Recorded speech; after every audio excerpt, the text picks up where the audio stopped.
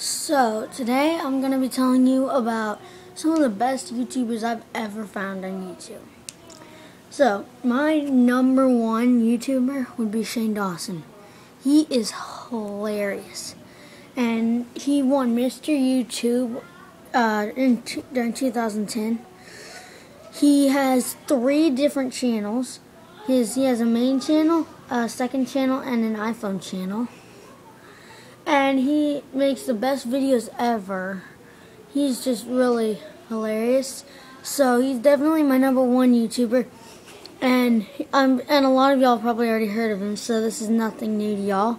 Then my second would probably be Ray William Johnson, who does the Equals Three shows, and he is really hilarious. He reviews uh, videos that are that have been sent to him or that are really funny that uh, came that were that came out during the week that came out during uh, that one week, and he, he puts up a new video every week. Oh yeah, and Shane Dawson he puts up like two or three videos a week, so usually, and he has a bunch of different segments.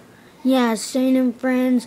He has Ask Shane. He has normal videos. He has uh, and he just has all types of videos, and then JD5 Squeak is a girl. She is the freaking best goddamn beatboxer you'll ever mother freaking see on YouTube. She is freaking hilarious. Or, sorry, not hilarious. She is awesome. I mean, and she and she beatboxes, and she can also play the guitar. So she'll do acoustics and beatbox songs and then and she'll sing them while beatboxing. It's so awesome. And then Des plus Nate's pretty good too.